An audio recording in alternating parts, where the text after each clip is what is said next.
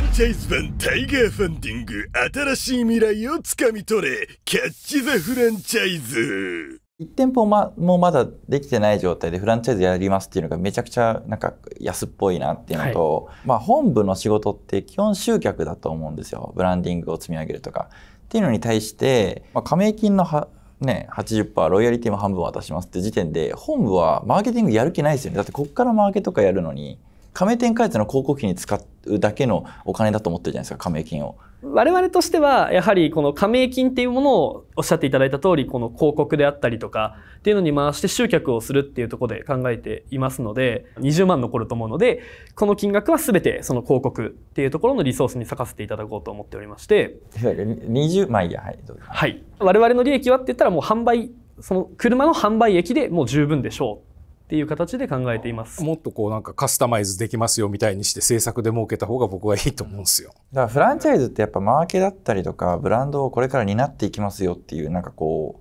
う要は村のボスになりますっていうことじゃないですか、はい、それがその安っぽい感じがちょっとこう舐めてるというか情報商材と一緒なんですよねやり方が。情弱相手にやろうとしてるみたいな感じに見えちゃうんでであればなんかこう責任をこうね、そこは責任を持ちませんと政策は任せてくださいっていうやり方だったらなんかこうちゃんと成り立ってるのかなって思っちゃうんですけどね。はい先ほども申し上げました通り、えーと、このまだサウナカーという名前市場が育っていないので外上にやはり展開をしていきたいですけれどもバラバラのブランド名前でやってしまうとまあどうしても分散してしまったりとか、えーと名前が入ってきにくい市場ができにくいと思ったのであっちにもこっちにも見たことがあるって何なんだあれはこれはサウナカーだっていうふうに認知させるためにはどうしてもこう多店舗というか何台で動かす同じ名前でっていうところが必要かなと思ってフランチャイズにさせていただいたという形なので名前を一緒に統一してやりましょうっていうところがすごく本来は近いのかなとも思っております。自分もあのフランチャイズの本部をやってる身なのでまあいろいろ思いながらこう聞いてたんですけれども彼まだ若いしあの、始まったばっかりのものがこれからどうなるかが見えない中で、フランチャイズやっていくことってやっぱり、加盟店の方々に対しての責任っていうのを、ちょっと軽く考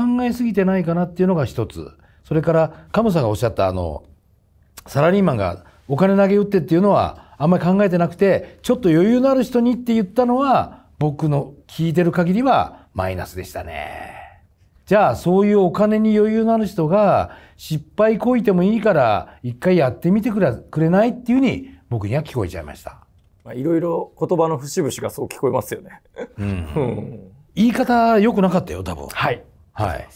お金には色ないから誰にとったって大切なお金なんでちょっと人生経験が少ないから言っちゃうのかなわかんないけどこれが放送されちゃうとよしこれで頑張って儲けてやろうっていう人は亀説明会には来ないような気がするんですよ。それ自分で墓穴掘っちゃったような気がするよね。そうですね。はい。うん、まあちょっとコンセプトがこのサウナカーで儲けようっていうよりも先ほど言ってた通りこのサウナカーをフックに別の授業でもそれってさ自分本位の考え方じゃん。はい。フランチャイズってそうじゃないんじゃないの？フランチャイズって加盟してくださる方々がいかに儲けるかっていうことが先に来なきゃいけないのに君はまた同じようにいや、実は僕はこれをね、スタートラインにして、こういうことがやりたいんだって自分でやりたいことばっかり言ってるだけなんだ、今。それに、加盟店を使うのは良くなくないですか？広げたいのはあんたじゃないの。それに、金がないからっつってうまいこと加盟店の力使ってビャーっと広げれば僕の思いは達成できるんだって言ってるようにしか聞こえないんだけどそう受け取られても仕方がない発言をしていたと思っております。だから鴨本さんの誘導尋問に引っかかったんだよ。うん、でもさすが鴨本さんと思ったのはそれ引き出したっていうことだよ、はい、でも。本当僕はそう思う、僕はこれは舐めすぎというかあのなんか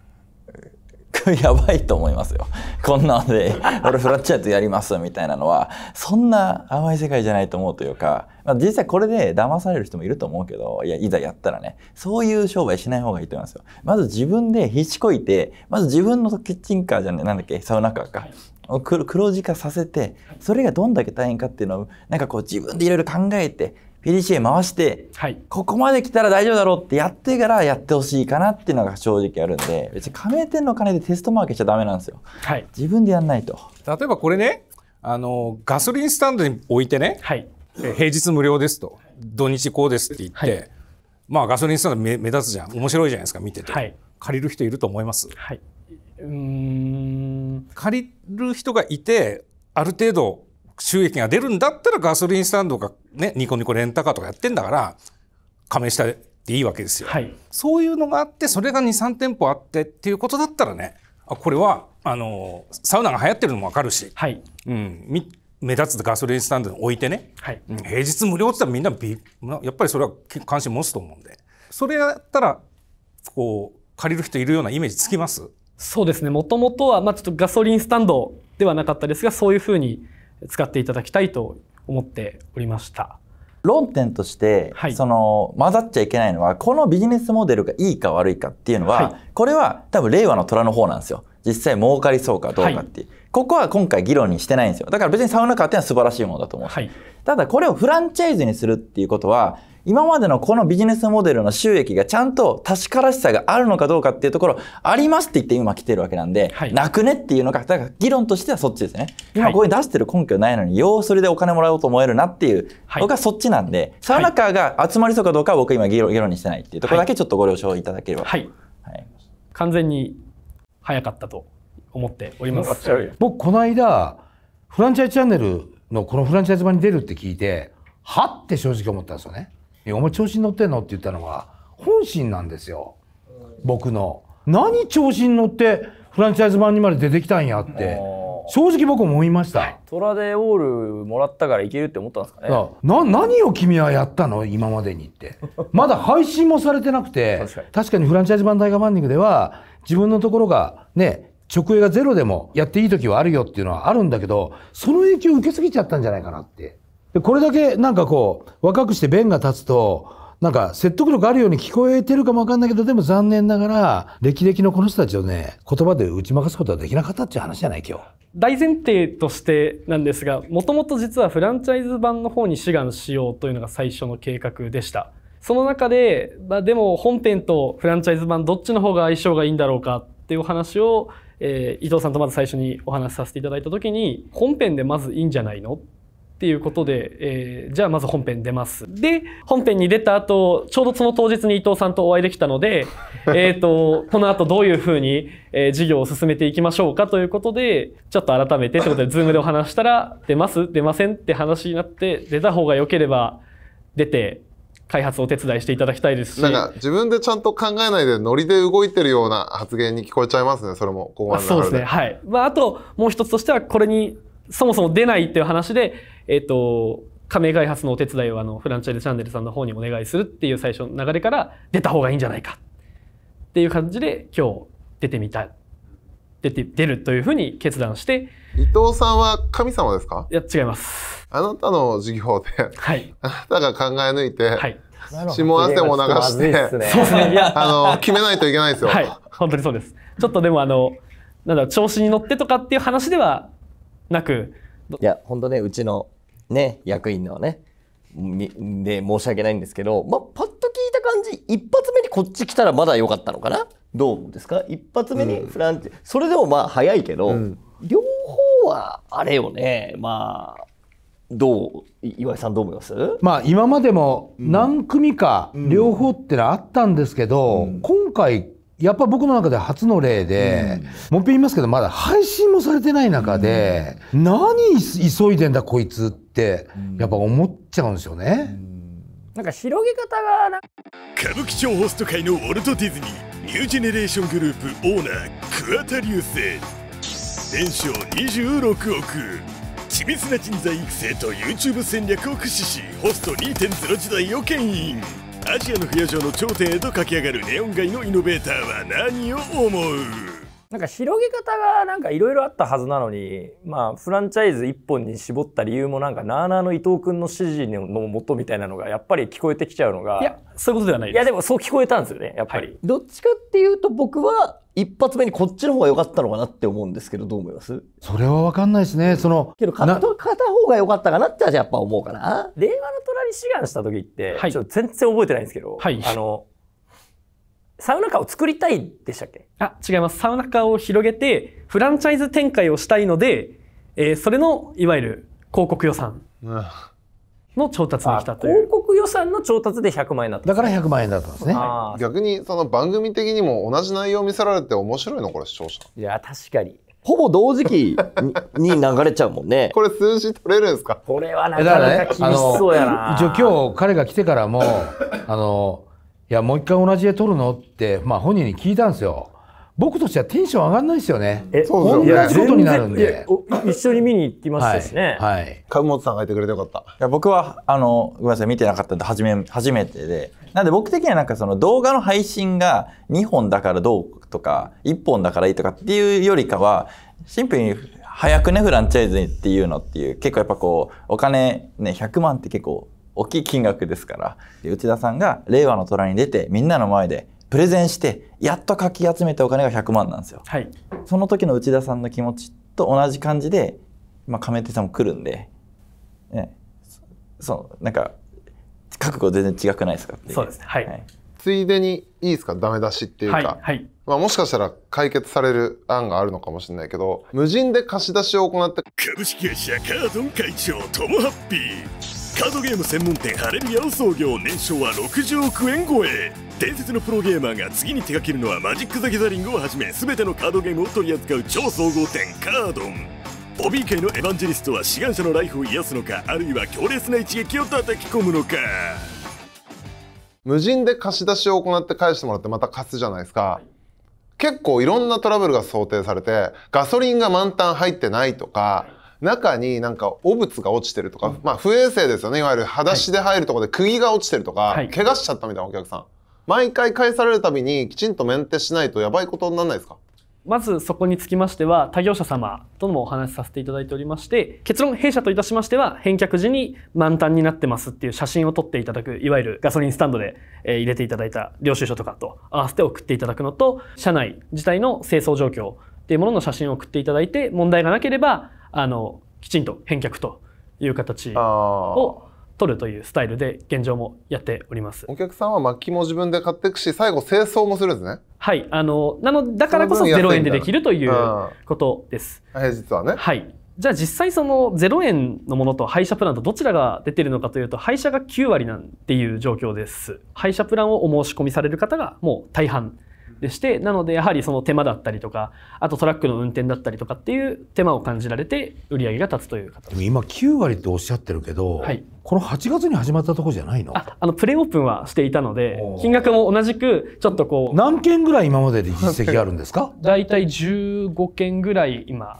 あの売り上げとして立ってる状況でかそれだともう俺もうレンタルサウナカー事業じゃなくて出張サウナサービスじゃないですかただの別にそれ自分の別な車にねテントサウナ積んでって作っても同じようなことができるからカーの意味なくないですか？9割出張だと。あーまあ確かにそれもまあ確かにあるかと思います。けども確かに確かにっていうか、まああ無人ののその借り手なんちゃらが全然機能しないってことですよね。お客様の要望的には現状廃車してほしいっていう方が多かったですね。だからそのつくサービス打ち出す側の意図と全く違うことが起きてて全く違うサービスに変わってっちゃうかもしれないものを FC 広めたいですって言って持ってきてるってことですよ。逆に売り上げが立つと思ってそっちの方がまあこちら側としては売り上げが立つので良いのかなと。じゃあなんか事業名変えてこないと不誠実でもなんか月に10万20万の利益が出るっていうフランチャイズをやろうとする人がそんなにいますか？で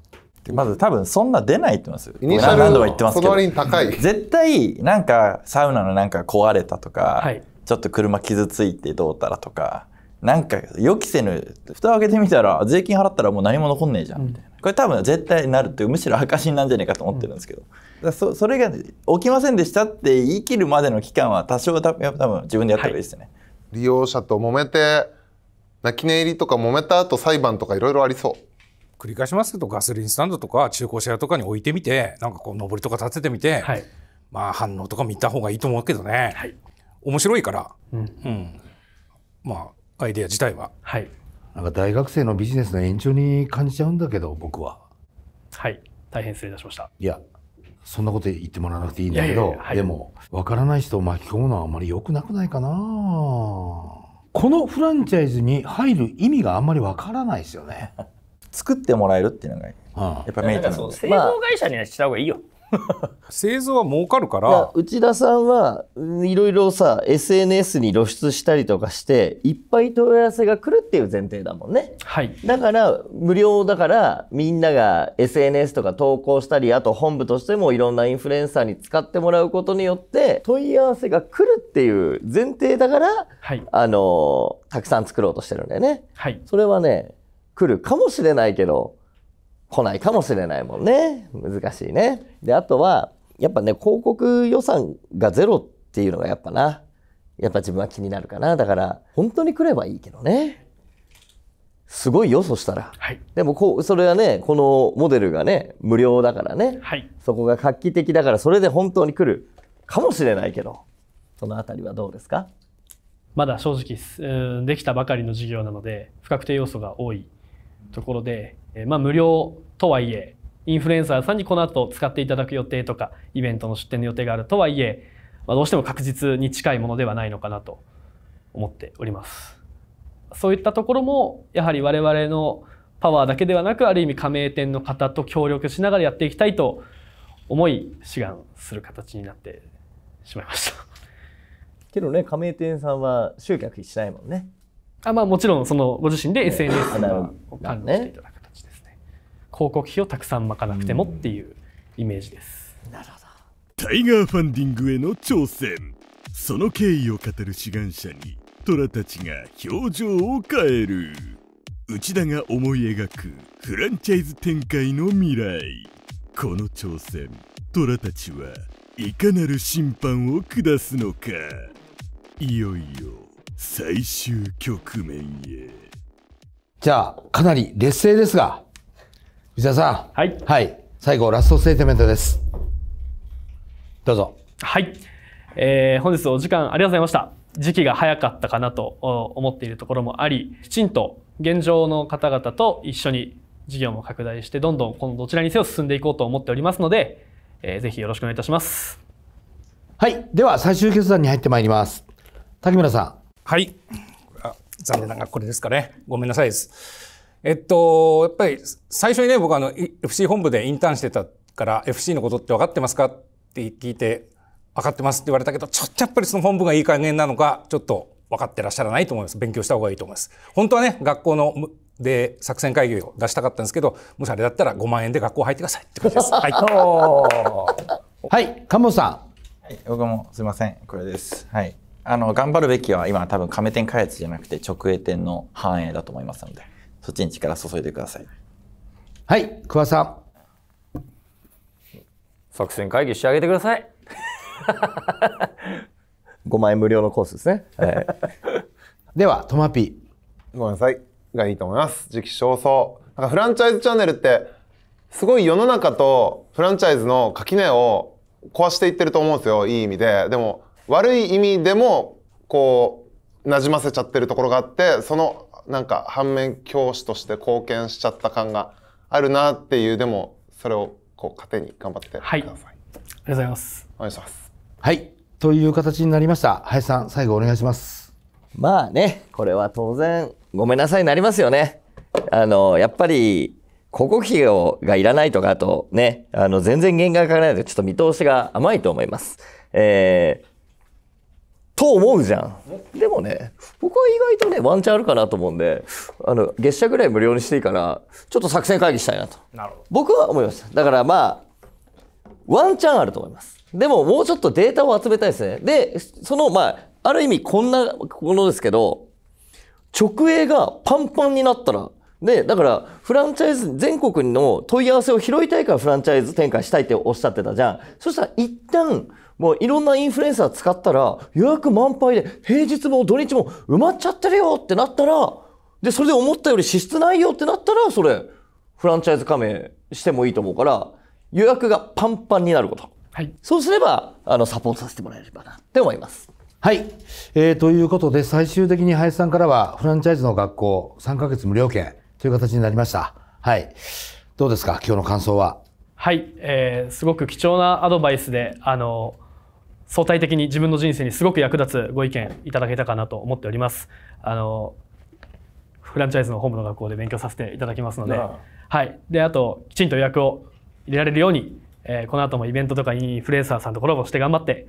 まいります。よろしくお願いいたします。はい。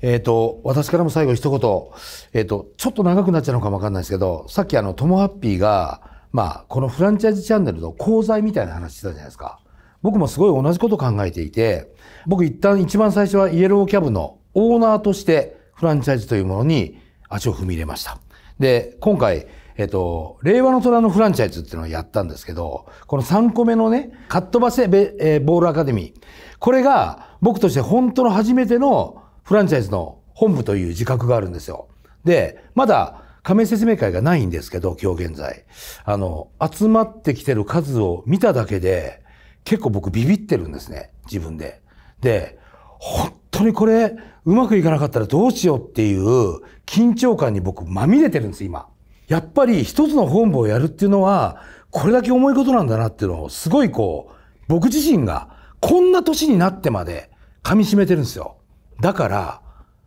甘いんだってまだ。